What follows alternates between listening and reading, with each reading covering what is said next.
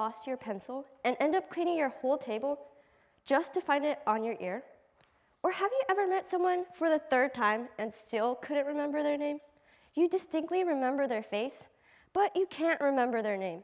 Sadly, you're too embarrassed to ask for their name because you've already asked two times before. So you take on the method of not saying their name. Instead of, hi Claire, you say, hi, bro. And you keep on doing this until you overhear their name. Well, if this hasn't happened to you, it sure has happened to me. According to Scientific American, our brain's memory storage is 2.5 petabytes, which is 2.5 million gigabytes.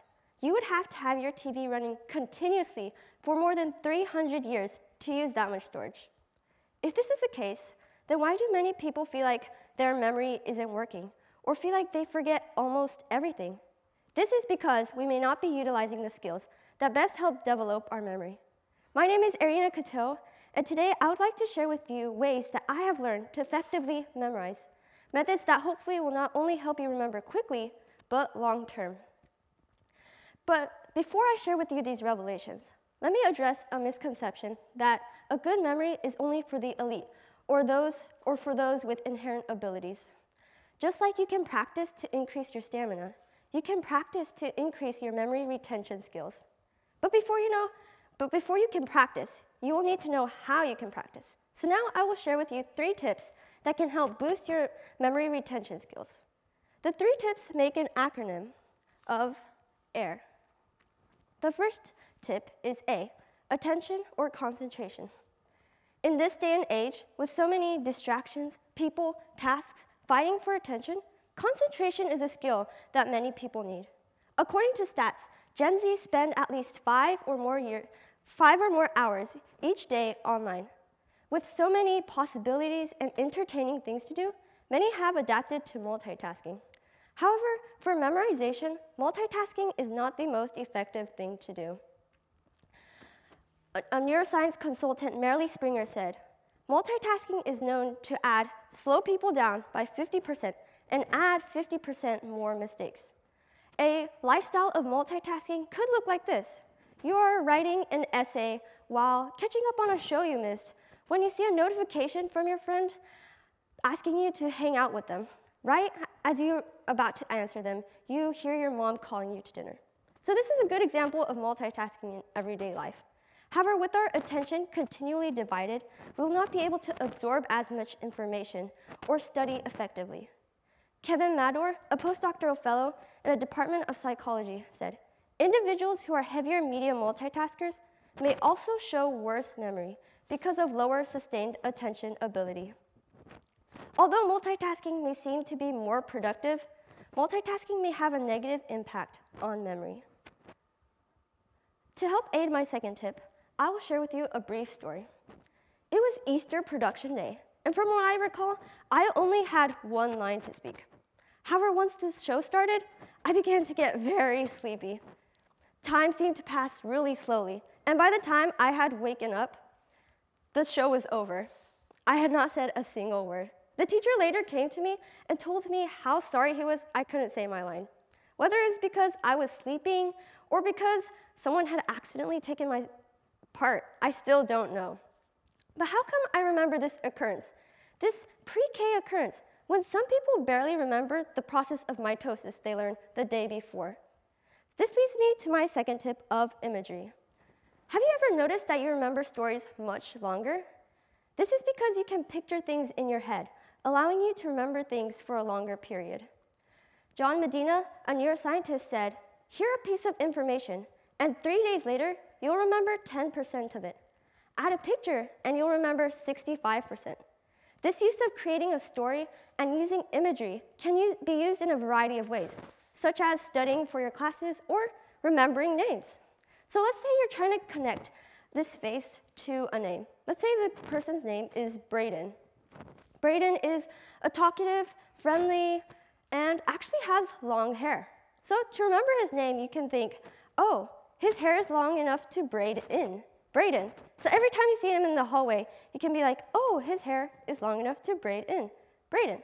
So these imageries and stories that you make to remember things should be fun and enjoyable so that you remember them for a long time. The third letter in the acronym AIR is R for repetition. To help increase your strength and ability to memorize, we need to continuously practice the skill of memorization. Just like you must continually exercise to keep your six pack from turning into fat, you must continually exercise your memory retention skills so that you can keep and increase your memory retention skills. Research on the forgetting curve shows that within one hour, 50% of the information presented is forgotten. And within one day, 70% of the information is forgotten. And within one week, the data shows that 90% of the information presented is forgotten. Therefore, by continual repetition and review of the subject, with the use of imagery, we can significantly decrease the amount of things we forget. To remember the acronym AIR, remember this phrase that I created of memory is in the air. A is for attention, I is for imagery, and R is for repetition. Now I would like to share with you a system that I made that is very similar to that of Kevin Horsley in his book Unlimited Memory. This system is helpful when trying to remember things related to numbers, such as who is the 17th president? This system utilizes both imagery and repetition. So in this system, each number looks like a letter. The number 1 looks like the letter L. So each time I see the number 1, I'll replace it with the letter L. In the same way, the letter N looks like the, letter two, the number 2. So every time I see the letter N, I'll replace it with 2. In this system, um, vowels aren't considered. They are just fillers. So let's try an example. Who is the 17th president? So according to the system, the number 1 is represented by L, and the number 7 is represented by K. So remember, vowels aren't considered, so you can use any vowels to create words. So in this case, I created the word look. Then you create a story. Look at my scratch, President Johnson, because the Johnson Johnson Band-Aid covers my scratch. So every time I see 17, I'll think, LK, look, look at my scratch, President Johnson. Let's try another example. 18. So according to the system, the number 1 is represented by L, and the number 8 is represented by F. I can insert in vowels to create the word life. Now I create a story. You have been granted life, President Grant. So every time I see 18, I'll think LF, life. You have been granted life, President Grant. So one last example. Who is the 19th president? So by now you know that the number 1 is represented by L and 9 is represented by P. So we can create the word leap. The story is you leap over Hayes, President Hayes. So this system is a fun and engaging way to remember things related to numbers. And I personally think it's an effective way to memorize things. Now, with all this being said, at the end of the day, after you've utilized the three tips, as cliche as it sounds, don't underestimate the power of sleep in memory. In October of 2019, two MIT professors found a correlation between sleep and test scores. Those who slept less had lower test scores. This theory and this theory has been repetitively tested by multiple people and with results showing that uh, more sleep results in more memory retention by 20 and 40%. Though many people think it's the sleep that you get before the big day is important, it is actually the sleep on learning periods that has been found to be most important. Therefore, instead of taking extra tasks throughout the day, or binge watching shows on school days, or getting sidetracked online, we need to prioritize our sleep because this is a major factor in our memory retention skill. So to, re to um, review, memory is in the air. With A, attention, I, imagery, and R, repetition, we can bring our memory to another level. So pop quiz, who was the 19th president?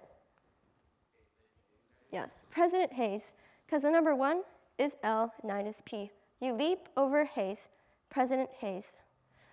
I would like to finish off with an Irish blessing that Kevin Horsley also ended his book with, to encourage you as you continually increase your memory. May you never forget what is worth remembering, nor ever remember what is best forgotten. Thank you.